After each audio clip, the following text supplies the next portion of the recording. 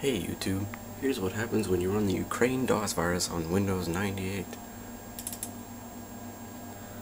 It executes, it's finished, and blue screen of death! Let's count the blue screens of death. One, two, three, oh, partial desktop, interesting.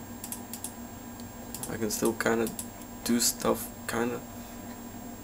Is there a start menu? Oh, there is a start menu. And, oh, start, and then five.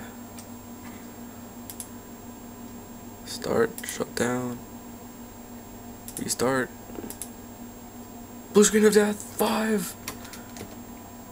Number six. Number seven.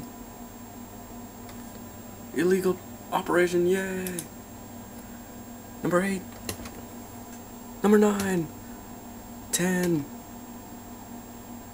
Blank desktop. Control delete. Control delete to restart.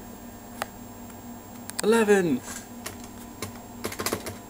Computer not responding. Eleven blue screens of death. I think it's a new record.